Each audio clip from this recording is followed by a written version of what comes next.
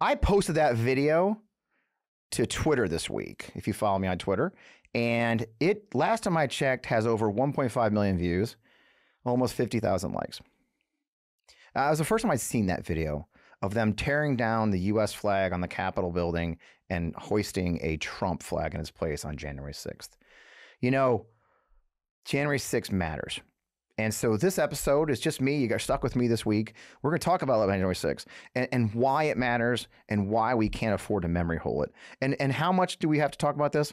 Here is Donald Trump at the debate. He was asked if he has any regrets about January 6th. And this is Donald Trump's answer. Uh, Mr. President, on January 6th, you told your supporters to march to the Capitol. You said you would be right there with them. Uh, the country and the world saw what played out at the Capitol that day, the officers coming under attack. Aides in the West Wing say you watched it unfold on television off the Oval Office.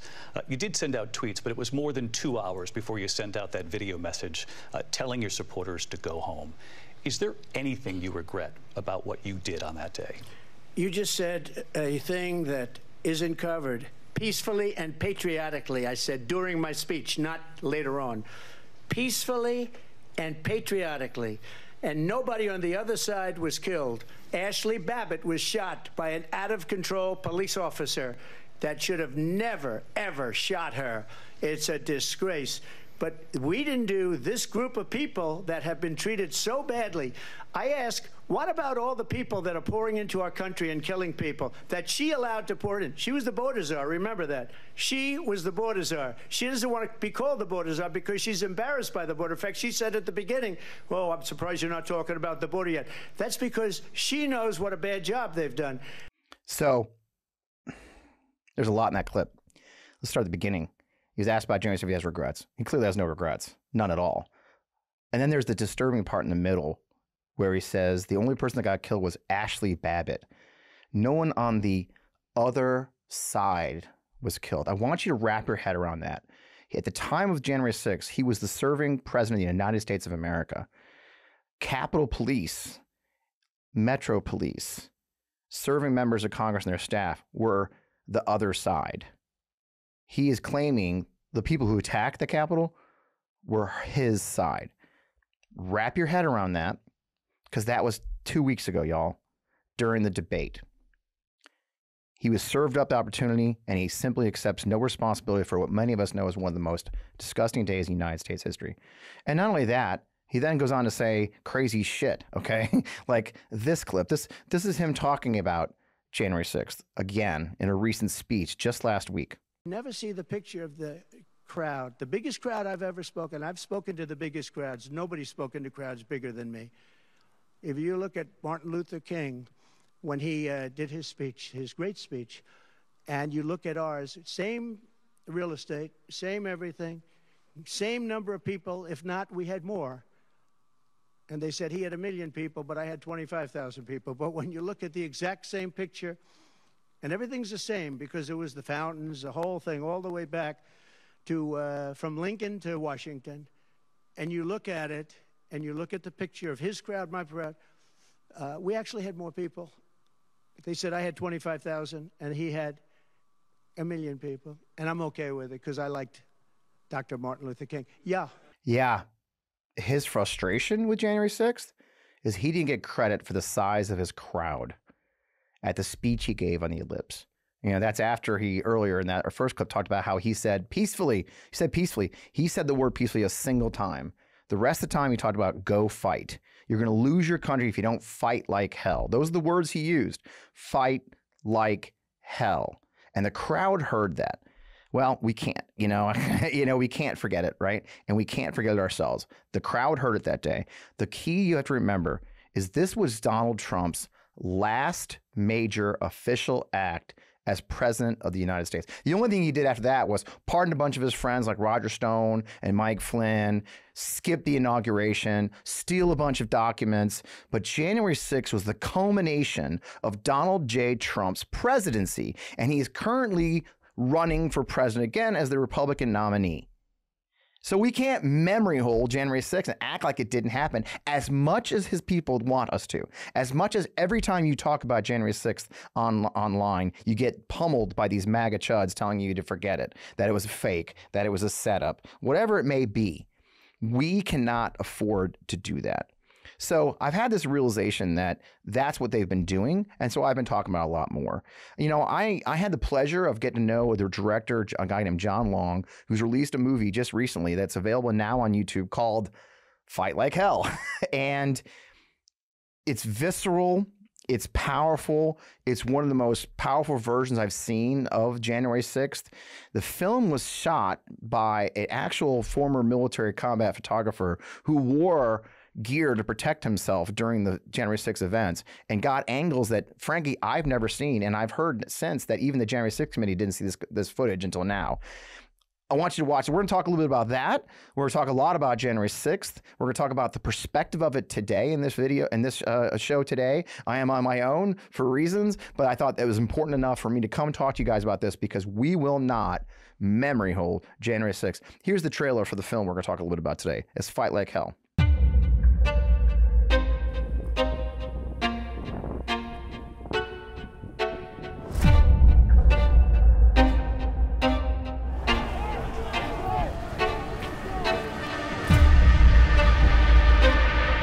This is not an election between Republicans and Democrats. This is an epic struggle for the future of this country between dark and light. We will win this fight, or America will step off into a thousand years of darkness. We're going to protect this president by stopping the steal. Stop the steal! Stop the steal! When I went to bed on election night, he was ahead. The system is a lie. The ballot counting's a lie. It's called democracy. You count every single vote. We did not have a free, fair, and transparent vote. Joe Biden will be removed one way or another. 1776 commenced tonight. We are at war. Spiritual war for the soul of this country. The situation we're in is a situation of treason. The punishment for treason is death. The president watches these rallies, and he's watching you today. Warning you guys now. You can't stop what's coming tomorrow. What makes America great? The United States Constitution. It's different from every other country in the world. Are you willing to do what it takes? Will you fight for America? This election was stolen. The president is willing to stake his reputation that we're going to find criminality there. I know that everyone here will soon be marching over to the Capitol to peacefully and patriotically make your voices heard. Must stop the steal, and we fight. We fight like hell. If you don't fight like hell, you're not going to have a country anymore.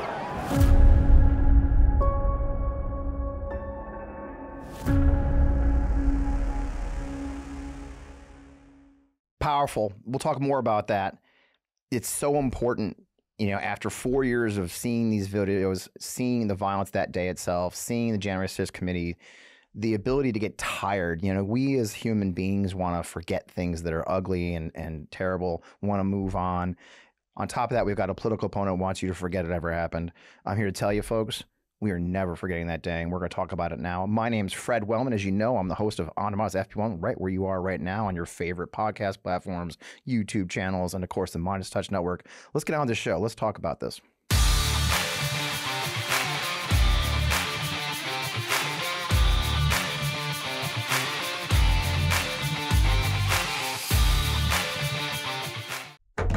Welcome, welcome, welcome. As always, I am still Fred Wellman. As always, 30 seconds ago, I still was. It's just amazing. Uh, the power of video. Um, so let's talk about this. So let's talk about the memory holding of January 6th.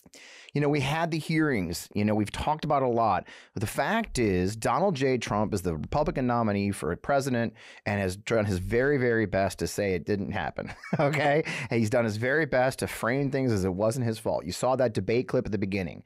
You know, I, I told them peacefully and patriotically. No, what he told them was to fight like hell, that we wouldn't have a country if they didn't fight like hell. And, and, the, and the mission to memory hold has been a major part of this campaign and it's just shocking to me. So the important thing I want to talk about is that this was Donald Trump's last major act as president of the United States. Everything he did for four years leads up to that. You know, one of the big things we keep hearing from his supporters is about his policies. You know, life was good under Trump. Uh, I can't tweet now without getting one of those Trump supporters sending me, uh, "Oh, look how Taco Bell prices have gone up. Do you like paying a lot more for a Taco Bell?" Like somehow that just magically happened under Joe Biden, not the mismanaged pandemic under Donald J. Trump or the January 6th insurrection that almost overthrew our democracy in a very real way. So we can't allow them to get away with this game. I've taken to myself just fighting back on all of it, right? You know, and and it just we have to fight back. We have to remember the same thing. I've talked to a number of experts. My friend Ruth Ben-Ghiat, who wrote the book uh, Strongmen, we'll talk about that a lot in the show because it really matters to what we're talking about, and they agree that the the, the mission to memory hold January 6th is a key part of the Donald J. Trump presidency uh, uh, uh, campaign. They really want us to forget. You know, since, since that day, over a thousand violent attackers in the Capitol have gone to jail. But a lot of them haven't faced justice, right? You saw on the trailer there, you saw Alex Jones. You saw Nick Fuentes. You saw um, Steve Bannon. You saw Mike Flynn. You saw Roger Stone. Um, there's a great clip. This so this was all going on. So it's easy to remember or easy to forget that just at the election, before the election, they were setting this up, and then Stop the Steal movement was born from Ali Alexander, supposedly, and Roger Stone, and it took on a life of its own. By December, by mid December, this thing had a life of its own. It's easy to forget that there was what they called the Million MAGA March on December 12th in D.C., leading up to this. January 6th did not occur in a vacuum on one day, like they want you to believe, that a peaceful protest broke out. Here's a great clip from the movie about that Million MAGA March, as they called it, that occurred on December 12th uh, in. And here's some of the key figures. Look what you see giving these speeches and think about them, and we'll talk about it in a second. We want Nick! We want Nick! We want Nick! What is happening right now is a spiritual war for the soul of this country.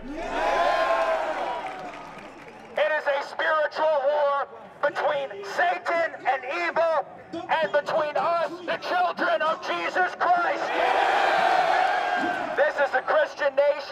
And the Christians in this country demand that we have Christian leaders governing this country. Yeah! And we will no longer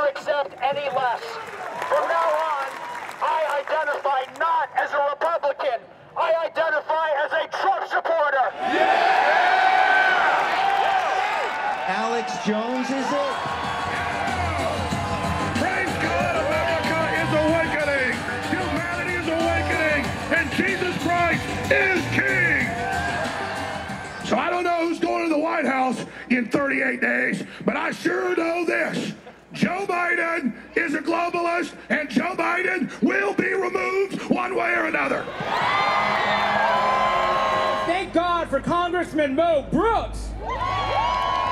He has said that he will object to the House certification on January 6th. And we need some of his colleagues to join him, don't we? We will shut this country down. We believe in some good trouble, right? Maybe some make America great again trouble, right? 1776! Know those faces? Nick Fuentes, the virulent anti Semite, the virulent racist one of the most disgusting people in American politics. Where did Nick Fuentes just recently dine last year? Mar-a-Lago with Donald Trump. Ali Alexander has pretty much disappeared off the face of the earth, but he sure as hell isn't in jail. Alex Jones was just on the internet last this week crying because the judge has finally decided to liquidate his assets of InfoWars once and for all for the disgusting attacks that he led on the families from Sandy Hook. Their libel lawsuit against him succeeded. You know, if you remember, he repeatedly and for years ran a nasty set of stories accusing them of being fake, making their lives miserable. People had to flee their homes. He is finally facing justice. But where's Roger Stone? Pardoned. Where's Mike Flynn? Pardoned. Making millions of dollars running around the country with his Christian nationalist movement. He makes no bones about supporting MAGA. So these are the names and faces of January 6th and the lead up to it. And not one of them's in jail. Not one of them has faced consequences for their acts. So for us to memory hole January 6th, it also means we have to memory hold the fact that those who organize it are still on the streets. Those who organize it are still MAGA supporters. Those who organize it have actually worked harder since. You know, Mike Flynn, if those of you follow the show know, Mike Flynn is suing me for $150 million for a single tweet from three, almost two and a half years ago now, almost three years now. That's what they're doing. That's the legal warfare they're ending. At the same time, Mike Flynn's been going around the country with his movement of Christian soldiers or the digital soldiers, he's calling them. This hasn't gone away in any way, shape, or form. And if we get comfortable thinking that the thousand people who have gone to jail is the answer, we are in big trouble.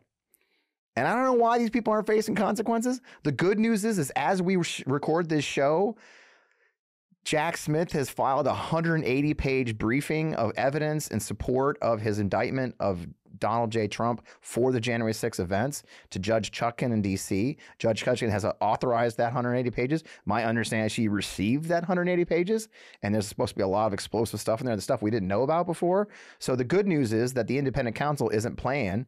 He's continuing to pursue the mastermind of this whole thing, Donald Trump, and hopefully others. But here we are even Rudy Giuliani. The only thing, only consequence Rudy Giuliani faced for any of this is bankruptcy because he smeared the ladies in Georgia.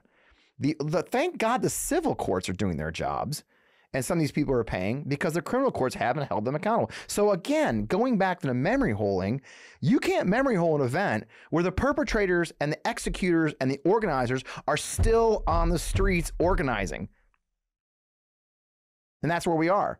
And the leader of the whole thing is the candidate for president of the United States. You know, um, Ruth Ben-Ghiat wrote the book Strongmen many years ago now. It's been probably five years now. She actually included Donald Trump in the book. And I've, I've seen her speak since then. And, and I, I joke all the time that I think her spidey senses of historian are tingling right now because of Donald Trump's authoritarian beliefs. We know look, the thing that, you know, they're trying to separate themselves from Project 2025 right now. You know, Trump keeps saying, oh, I have nothing to do with that okay, let's just set that aside. We know it's in Project 2025 now. That's why it's got such a negative interpretation. You know, I interviewed Secretary Pete Buttigieg in, in Chicago for the DNC, and, and he has a great line he uses. He says, you know, it's not often people put their evil plan down in paper and print it in a 900 page book, but they did it. But let's talk about Agenda 47. Donald J. Trump's series of videos he's placed on his website. They're still there, Agenda 47. They're video forms, so a little bit harder to dig into, but his machinations are very much clear. He intends to get rid of departments of the of of uh, of our government. He intends to implement what was called Schedule F. Why do we know he's going to do Schedule F? Because he already did it when he was in president after January 6th.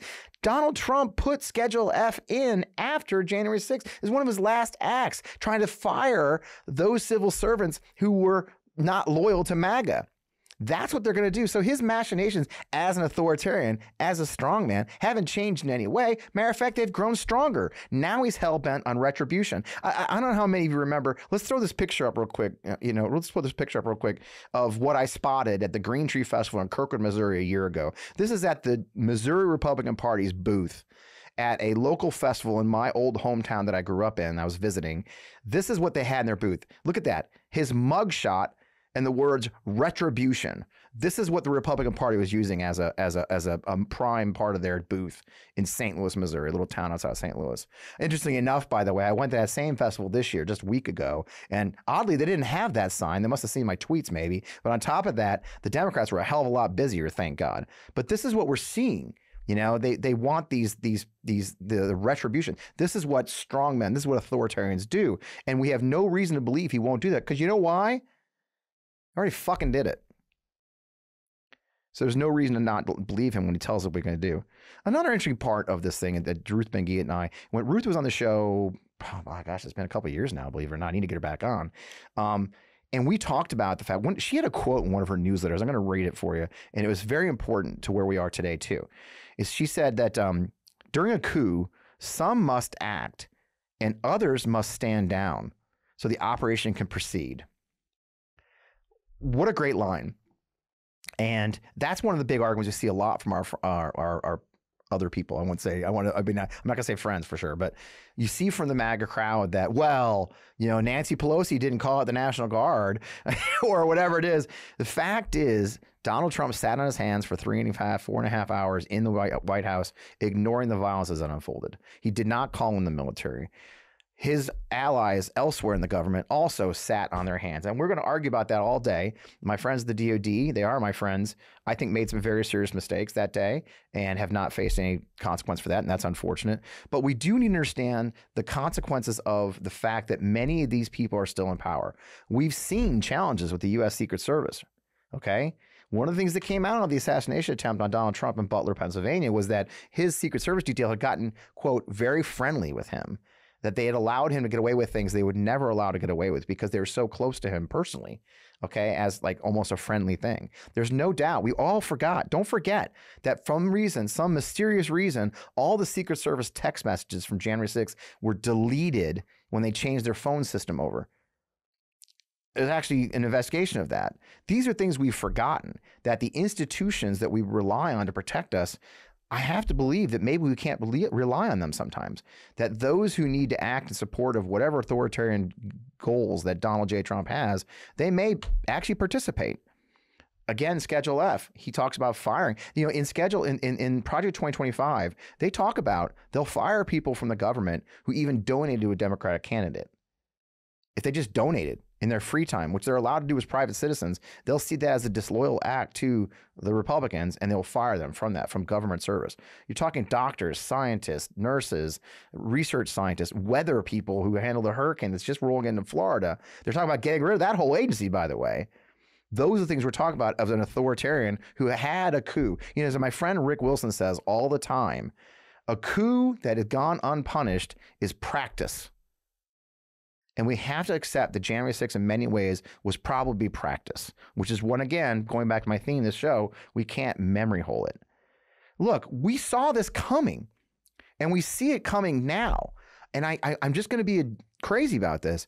There are signs, okay? We know now there's a network in Georgia of elected officials, election officials, who are coordinating amongst themselves to not certify the election in Georgia. We know now the Georgia Election Board of unelected officials has voted for hand count balloting.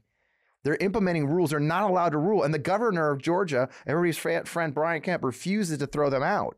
We know there's a network of over 70 across the country that I think ProPublica discovered of, of election officials who plan to upset and undermine the certification of this election. So they're already preparing. How do we see it in January? I mean, let's just talk about January. Let's get back to January 6th. Here's the mayhem that unfolded the night before January 6th. This is a great clip from the movie uh, Fight Like Hell. Let's let's run that clip of mayhem on January 5th.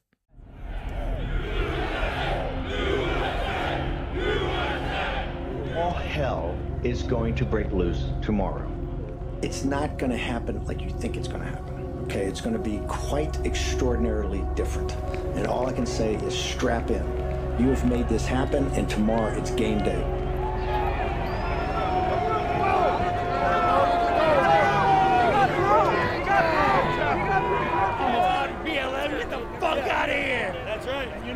Your bloodlust can matter anywhere else.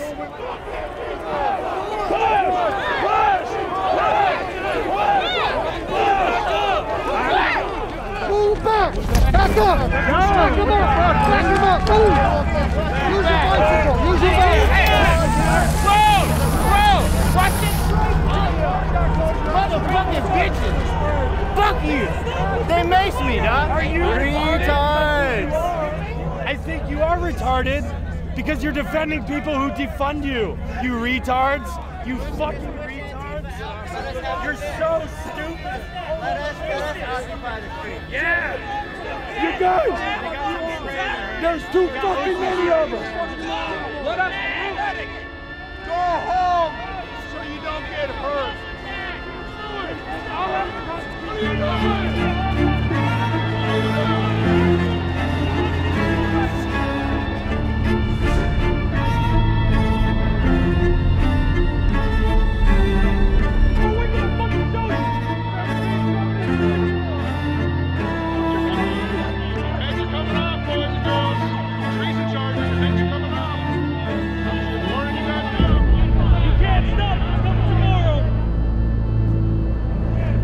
That was the night before.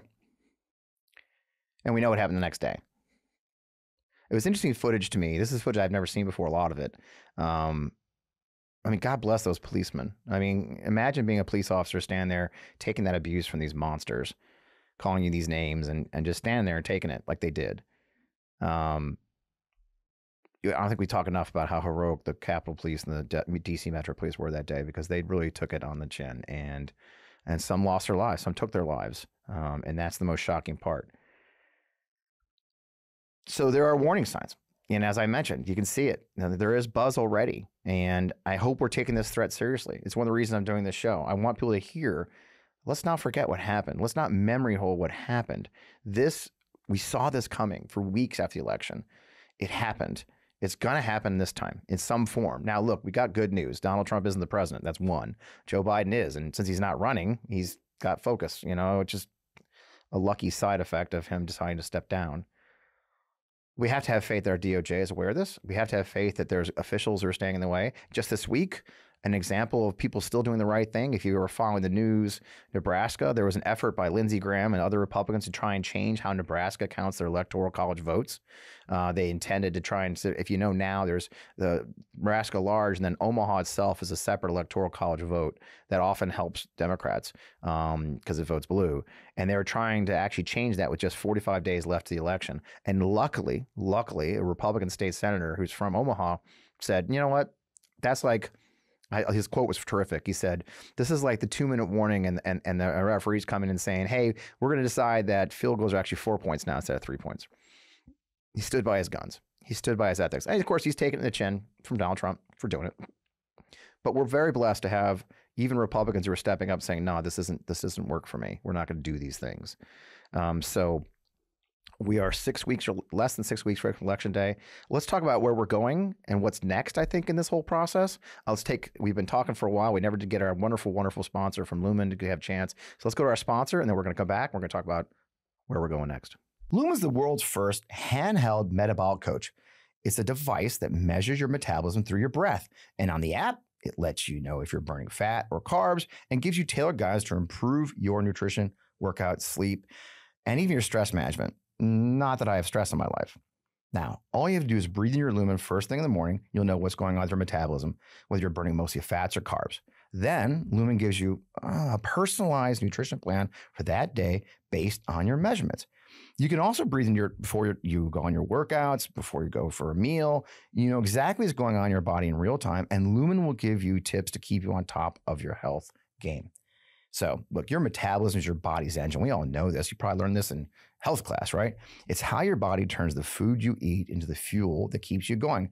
I've been tracking macros and nutrients and nutrition for years as I try to maintain my health as I age. Because your metabolism is the center of everything your body does, optimal metabolic health translates to a bunch of benefits, including easier weight management, improved energy levels, better fitness results, better sleep, better moods, even if you will. Lumen gives you recommendations to improve your metabolic health right in your hand. So if you want to take the next step in improving your health, go to lumen.me slash Fred. You'll get 15% off your lumen.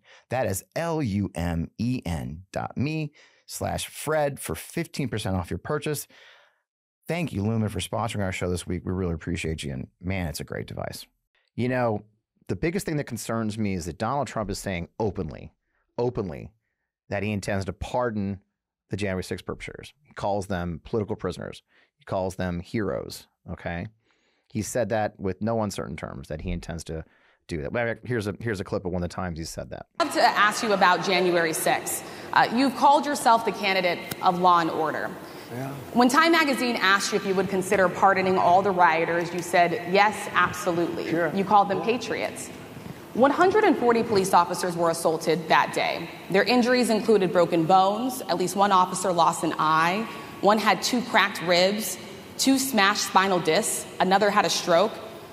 Were the people who assaulted those 140 officers, including those I just mentioned, patriots who deserve pardons? Well, let me bring it back to modern day. Like about five days ago, we had an attack on the Capitol horrible attack on the Capitol. Uh, you saw the people that were protesting and spraying these incredible monuments, bells, lions, all these magnificent limestone and granite with red paint, red spray paint that will never actually come off, especially on the limestone. It will never, I'm a builder, I know about this stuff. It'll never, you'll see it in a hundred years from now. They viciously attacked our government. They fought with police. They fought with them much more openly than I saw on January 6th.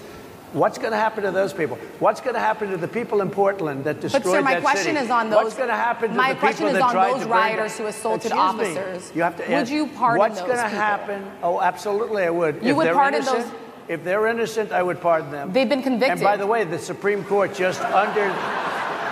Well, they were convicted by a very, a very tough system. They Yeah, so he's very obvious. But here's the thing: we also think I want to think about. I want you to think about, especially right now. I was having a conversation with a friend on the way in here. Trump. Everyone expects that Trump will pardon himself if given the chance. If we give Donald J. Trump the presidency again, everyone it's just commonly expected that Donald Trump will stop the federal cases against him. Look, he's running to stay out of prison. Let's be honest, okay? It's fully expected that Donald Trump will pardon himself for all the crimes and especially a January 6th case.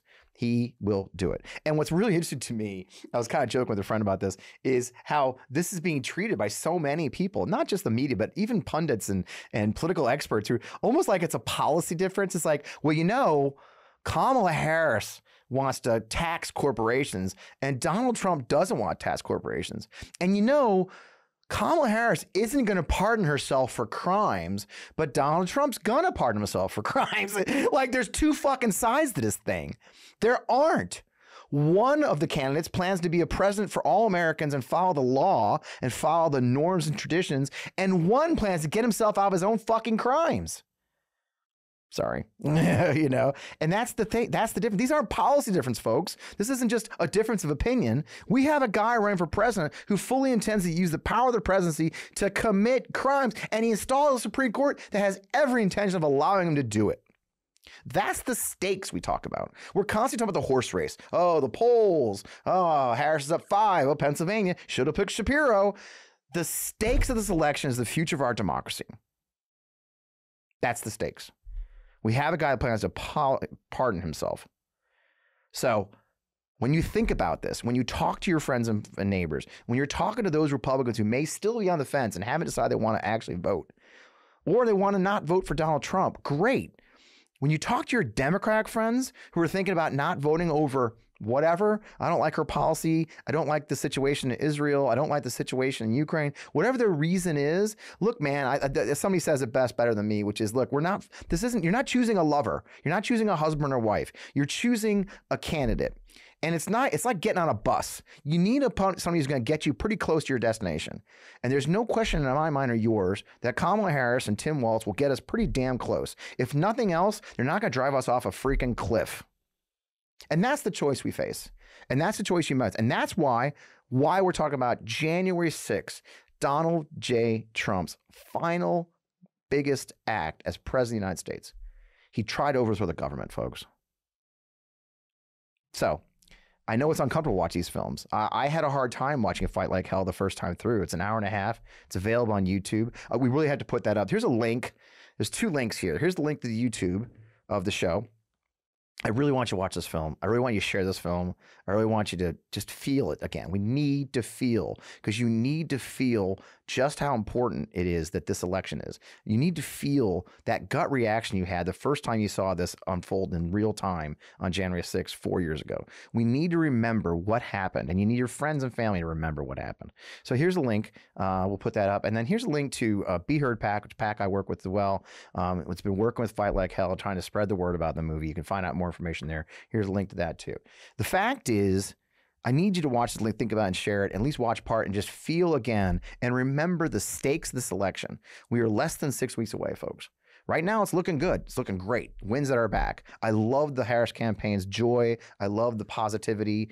I love what they're focusing on as priorities. I love the fact we're trying to turn out Democratic voters because when we fight, we win. When we vote, we're going to win. But there's folks like us who have to come out here and remind you of the stakes of this election Anybody who's on the fence about Donald J. Trump, anybody wants to tell you that his policies are better or that life was better under Trump, eh, my God, Taco Bell was cheaper back then, Fred. Gas was cheap. Yeah, no shit. There was a freaking pandemic. Go back and say, January 6th, you know, there's a funny bit, and I won't show it because we'll get a copyright strike, I think, right, Matt? there's a funny bit from Family Guy, right? The, the, Family Guy clip, and there's this wonderful scene in Family Guy where Lois decided to run for office, uh, I think mayor, uh, of uh, right after 9 11. And she discovered, if you guys all know this clip, that when she says the words 9 11, everybody cheers, woo! you know, and it's like, it's like that. And, you know, we don't do that with January 6th, right? But you need to. You know, somebody says, hey, you know what? Life was great under Donald Trump, man. I, I didn't have to pay, you know, $3 for eggs. Go, January 6th. do it like Lois. You know, January 6th, okay? January 6th matters because this was Trump's act as president. Look, I'm going to tell you a secret, you guys. The president doesn't control gas prices. I know, right? Who knew? He doesn't control or she doesn't control eggs, okay? They don't do any of that, okay? They don't but they damn sure control the United States military. And they damn sure control the elements of our government that could be used to overthrow that uh, same government. They damn sure control appointing judges that will get rid of DOP or get rid of abortion. They damn sure control judges who decided that, eh, what's a little crime by the president? That's what presidents do for real. So when you want to blame Kamala Harris and Joe Biden for the price of eggs, just say, you know what? I don't think they had to do with it. But I'll tell you this January 6th sure had a lot to do with Donald J. Trump. And what he's got in mind for his next iteration is a thousand times worse. And we won't recover. So be very clear. You have the power. You have, the, you have one power that no one can take away from you. You have the one power vote. Vote like your life depends on it. Vote like your kids' lives depend on it. Get your kids to vote. They're adults. Get your friends to vote get a minivan and drive those people. Though minivans aren't really cool anymore, are they, Matt? Nobody has a fucking minivan anymore. Thank God. I, I, think they're. I thought I think I saw an article of minivans are going away. Thank God. Just I hated them. I had a sport minivan though. It was pretty cool, but that's near here nor there. That's when I had four kids. Kidding aside, get your friends and neighbors. Drive your ass to the voting booth. And if you're in a state that has early voting, like Virginia does right now, I think Montana has early voting, a couple states like Michigan's early voting, vote early. And I'll tell you why I want you to vote early, folks. Because when you vote early, it helps your favorite candidate know where they don't need to worry about spending money. If it, they, every day the candidates will get like money, they'll get a, they get a report every day from the Secretary of State's office says how many people voted.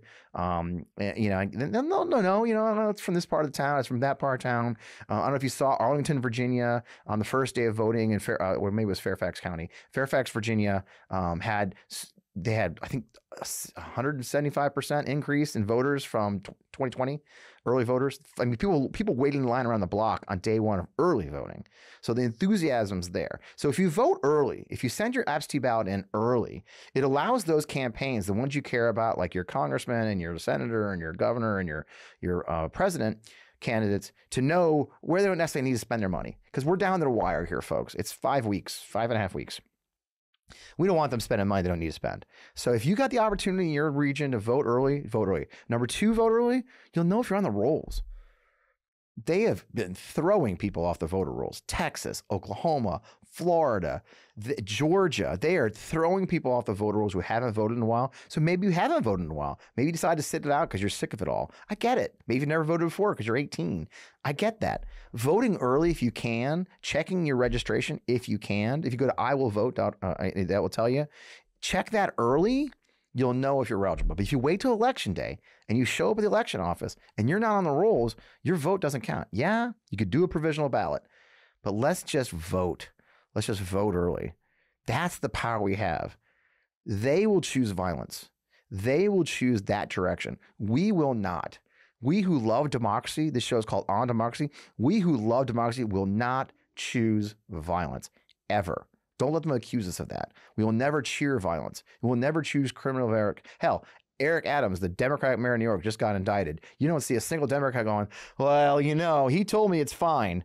I mean, that's the funniest thing. I haven't seen a single Democrat politician say, well, I talked to Eric Adams and, and we prayed on it and he says he didn't do it. So I believe him. You know, you'll never see a Democrat say stupid shit like that.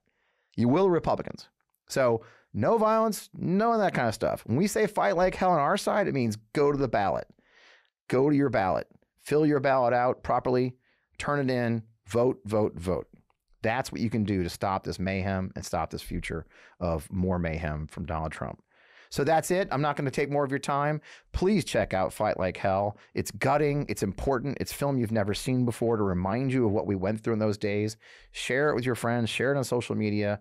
That matters. In the meantime, get out there, folks. We've only got a few weeks left. You can make a difference in this election. You can make a difference in a campaign even now to canvas. We are down to 4% undecided. 4%. 3 to 4%. I've seen two polls now, 3 to 4% undecided. It's the lowest number of undecided voters in modern history in, in the 21st century, which is the last 24 years. What does that tell you? People have made up their mind, and what matters now is getting them to vote. Because we vote, we win. I think it's 95% support in the Democratic Party, according to polls, for Ms. Harris. Okay, great. Vice President Harris needs your vote. You need to show up. North Carolina, you got to show up because that guy, Mark Robinson, is freaking crazy, right? Show up and vote, and we'll win. That's what we got to do. So, with that, I've, I've implored you to get to work. I hope you heard it. see me here every week on MeidasTouch Network, 11 o'clock, of course. You can see us on the On Democracy podcast YouTube channel as well. Follow me on social media at FP Wellman. I am going on a tour with VoteVets next week. I, you're the first to hear it. Um, I'll tell you more about that if you follow me on social media. We're going on a bus tour around the country to talk about veterans issues. I hope you'll follow that along on all my social media channels. In the meantime, thanks for joining me here. We'll see you next week.